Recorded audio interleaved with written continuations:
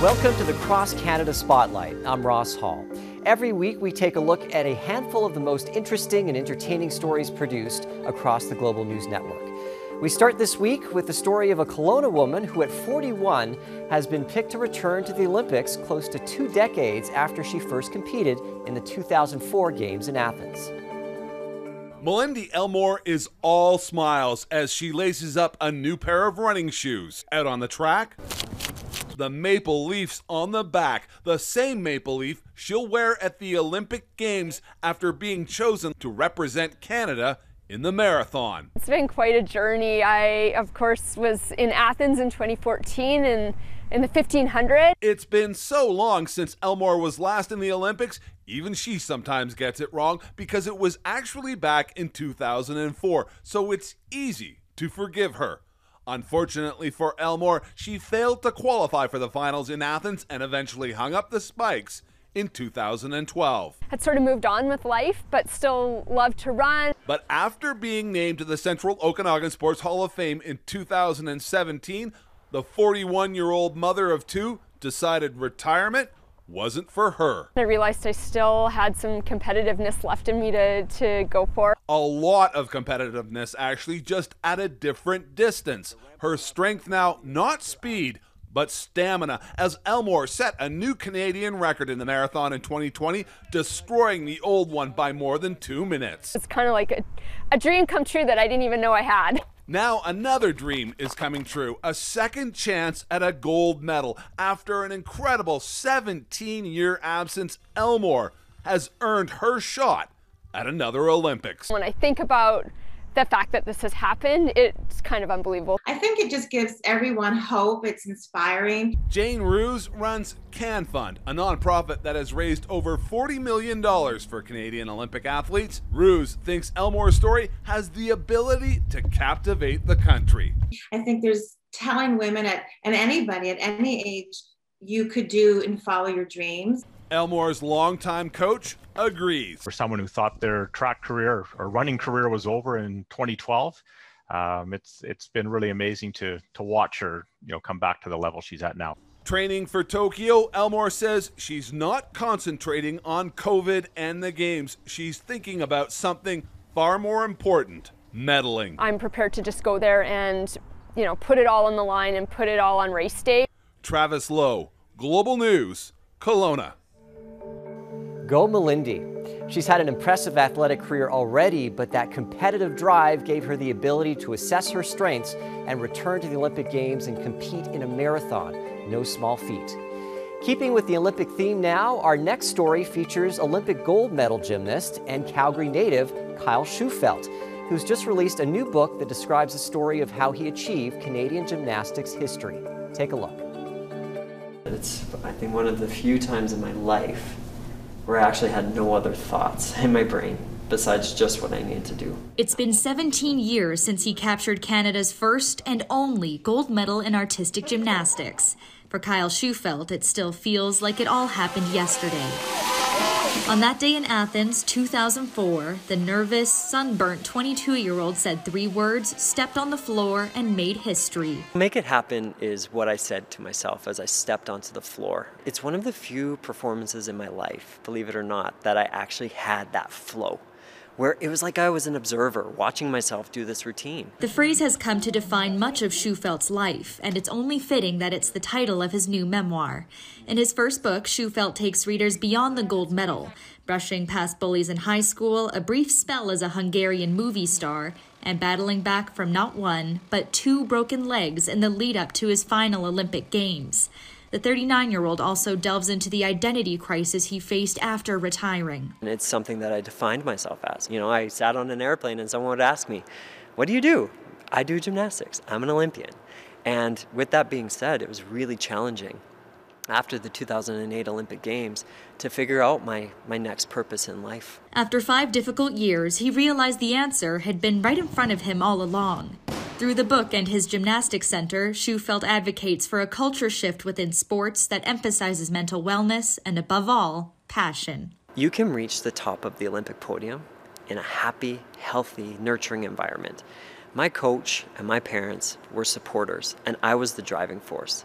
My goal is to ensure that that's the experience that every child has. A portion of sales will be donated to Special Olympics Canada and Kidsport Calgary. Cami Kepke, Global Sports.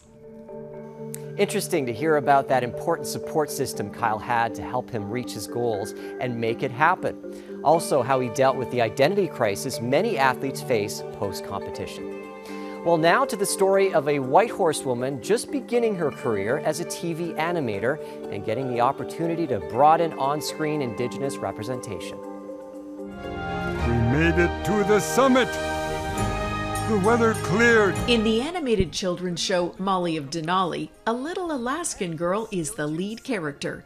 10 year old Molly's adventures include her dog Suki and her family, who run the Denali trading post. It's a show any animator would love to work on, but especially one who is Indigenous and lives in Whitehorse. Um, Molly's a very like spunky, energetic kid. She's very outgoing, and I really like her character. She's pretty fun. 21 year old Leah Fabre Dimsdale is doing an online internship on the award winning Atomic Cartoon Show after finishing her second year in Emily Carr's Bachelor of Media Arts program. Her job includes doing storyboarding, animation, and design. It's important to me since um, I am Indigenous and I haven't really seen much representation of people that look like me um, or have grown up with experiences like me. Getting the chance to work on Molly of Denali was an unexpected opportunity for Leah after a call went out for Indigenous interns, facilitated by the nonprofit organization Mitacs. It's a fabulous success story. It's exactly the kind of thing that we like to see. Um, she was basically brought into this uh, project the animation project through the internship. Uh, it's led to a great result. Uh, it's been good for Leah. It's been good for the uh, company she was working with. Leah's internship on Molly of Denali ends this summer, and she'll return to Emily Carr.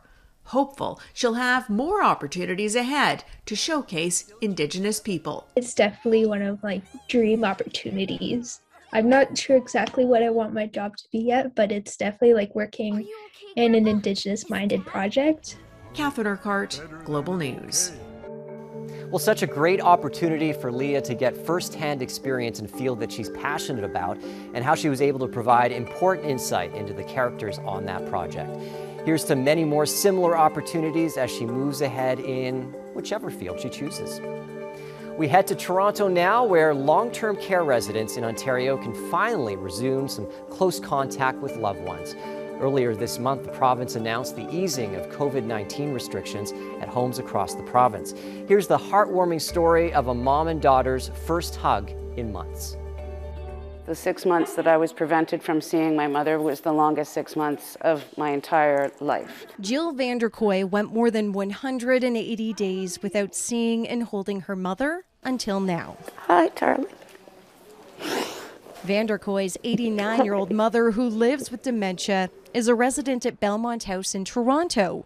She looks deep into her eyes with tears rolling down her face, happy to embrace her first best friend. Have you been okay, honey? It's hard to put into words. I mean, it's it's just that first hug is uh, it's precious. First hugs like this one were felt across Ontario's 626 long term care homes as the province loosened restrictions, allowing hugging, hand holding, and even day and overnight visits for fully vaccinated residents. It's so heart- heartwarming for all of us. Hema Kirpal is a registered nurse at Belmont House in Toronto. She is also in charge of infection control. This long term care home and retirement residents have gone this far without one positive COVID 19 case among residents even though there were positive cases among staff. I think we were able to be so successful because we implemented masks and face shields before the government mandated us to do that. Some staff even stayed on site to ensure residents remained safe during the height of the pandemic. They were the family residents needed, and Jill says that kindness will never be forgotten. We remember when we couldn't see each other and how hard that was? Do you remember that, Joni? No. Well, good. I do. There is a sense of relief that Joni may not remember the lost time as the pair stroll out of the library, ready to pick up where they left off. Morgan Campbell, Global News. Yeah, just one of the many difficult challenges of the pandemic and such an emotional moment to see Jill reunite with her mom. If anything, the events of the last year have taught me to cherish time spent with my family. Well, finally, this week, we go back to Calgary and a story on the 10 year anniversary of the city's Living Donor Program. We meet a woman who donated her kidney to a stranger and a recipient who received a life saving donation. It's been 10 years since I donated my left kidney to a stranger. She affectionately calls it Lefty and wonders about who got that left kidney.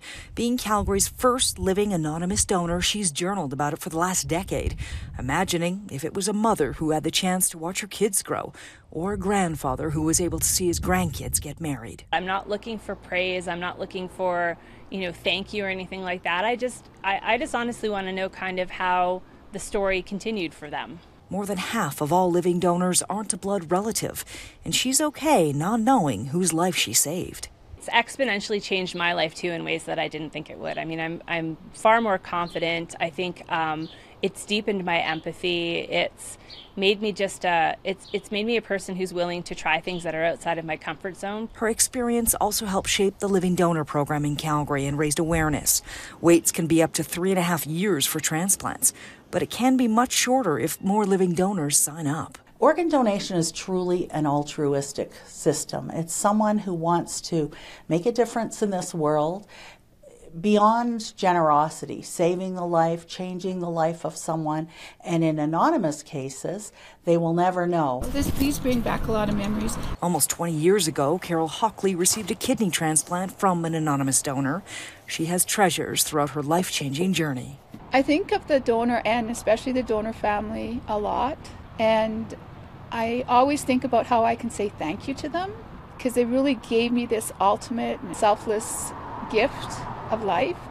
And so, how do you really say thank you to someone? In her gratitude, she keeps her donor sacrifice always in mind, living as healthy a life as possible. Jill Croteau, Global News. Yeah, fascinating to hear a donor's experience and how a selfless act actually enriched her life, not to mention saving the life of a complete stranger. Also, from the perspective of the recipient, appreciating each day thanks to a donor's gift of life and that responsibility to live life to its fullest. Well, that's it for Cross Canada Spotlight this week. Be sure to watch Global News Weekend Saturday and Sunday mornings at 7 a.m. on the Global TV app. For now, stay tuned for more news and weather.